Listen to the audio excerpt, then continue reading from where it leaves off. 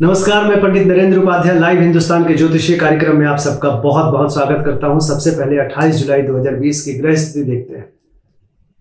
शुक्र वृषभ राशि में, राहु और बुध मिथुन राशि में, तुला राशि के चंद्रमा अभी भी बने हुए हैं, केतु और बृहस्पति धनु राशि में है। मकर राशि में शनि और मंगल मीन राशि के बने हुए हैं। बृहस्पति और शनि दोनों ही वक्री गति से चल रहे हैं। सूर्य अपने घर से द्वादश भाव में है, जो कमज़ोर स्थिति में है, लेकिन संक्रमण संक्रमण से बाहर निकल चुके हैं।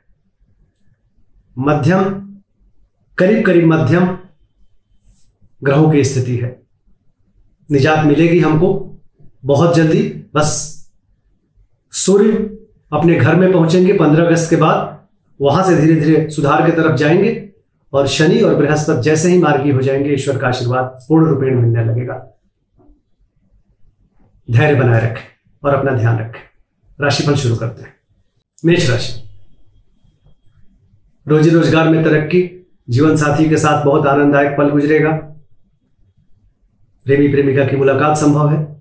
स्वास्थ्य में सुधार, प्रेम में सुधार नौकरी चाकरी में इजाफा, बहुत अच्छा दिखाई पड़ रहा है सब कुछ। बट धैर्य से एहतियात ज़रूर बरतिएगा। लाल वस्तु पास रखें। वृषभ राशि। रोग ऋण शत्रु परास्त होंगे। रुका हुआ कार्य चल पड़ेगा। गुण ज्ञान की प्राप्ति होगी। बुज़ुर्गों का आशीर्वाद मिलेगा। स्वास्थ्य ठीक ठाक प्रेम ठीक ठाक व्यापार में धीरे धीरे सही चल रहे हैं। शनिदेव की शरण में बने रहे। उनको प्रणाम करते रहे। मिथुन राशि। विद्यार्थियों के लिए उत्तम समय। जो ग्लैमर की दुनिया से जुड़े हुए हैं, जो इवेंट मैनेजमेंट से जुड़े हुए हैं, जो फ़िल्मों में पढ़ाई करते हैं या काम करते हैं अच्छा समय स्वास्थ्य पे ध्यान दें, प्रेम तो तुम्हें में वाला होगा, व्यापारिक दृष्टिकोण से ठीक चल रहे हैं। पीली वस्तु दान करें, भगवान विष्णु का दर्शन करें। कर्क राशि। भूम भगवान की खरीदारी संभव है, भौतिक सुख संपदा में वृद्धि। माँ का स्वास्थ्य थोड़ा गड़बड़ दिख रहा है, लेकिन घरेलू सुख बाधित रहेगा। स्वास्थ्य ठीक ठाक व्यापार पहले से बेहतर, प्रेम की स्थिति काफ़ी सुधार में दिखाई पड़ रहा है। गुस्से पे नियंत्रण करें और शिव जी की आराधना करते रहें। सिंह राशि। घोर पराक्रमी बने रहेंगे। आप द्वारा किया गया पराक्रम सफलता दिलाएगा। स्वास्थ्य में सुधार है। प्रेम अभी मध्यम ही चल रहा है। संतान के, संतान पक्ष पे ध्यान दीजिए। और रोजी रोज़गार में धीरे धीरे तरक्की करते जाएँगे। पीली वस्तु पास रखें और नीली वस्तु का दान करें। कन्या राशि। ज़ुबान पे नियंत्रण रखें पूंजी के निवेश ना करें स्वास्थ्य मध्यम है प्रेम में भी थोड़ी तूतु में, में चलेगा और व्यापारिक दृष्टिकोण से रुक रुक के आप आगे बढ़ते रहेंगे। लाल वस्तु का दान करें गणेश जी की वंदना करें। तुला राशि।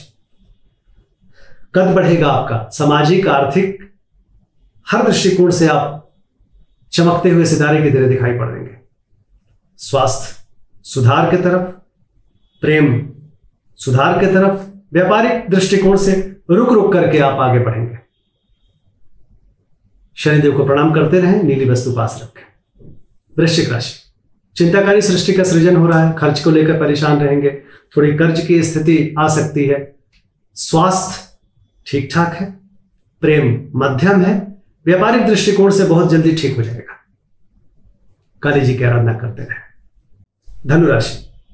रुका हुआ धन वापस मिलेगा, आय के नवीन स्रोत बनेंगे, पुराने स्रोत से भी पैसे आते रहेंगे। स्वास्थ्य, मध्यम, प्रेम थोड़ा सुधार की तरफ़, व्यापार थोड़ा सुधार की तरफ़।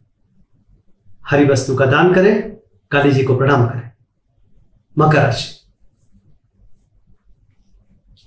मकर राशि की जो शासन सत्ता पक्ष है, व्यापारिक पक्ष है, पैतृक पक्ष है यह उत्तम दिखाई पड़ रहा है।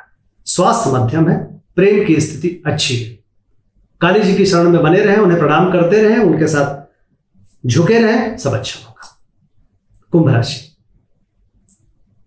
भाग्यवश कोई काम बनेगा, सकारात्मक ऊर्जा का संचार होगा, बस अपमानित होने का भय थोड़ा दिख रहा है। स्वास्थ्य मध्यम है, प्रेम मध्यम है व्यापार ठीक ठाक है। गणेश जी की वंदना करते रहें, उन्हें प्रणाम करते रहें। मीन राशि। समय ठीक नहीं है, आज थोड़ा बच के पार करें। परिस्थितियाँ प्रतिकूल दिख रही हैं, स्वास्थ्य के मामले में कोई भी रिस्क मत लीजिएगा। व्यापार ठीक है, और प्रेम की स्थिति भी ठीक ठाक कही जाएगी। पीली वस्तु पास रखें, शिव जी के शरण में बने रहें, उन्हें प्रणाम करते रहें। अच्छा। होगा नमस्कार।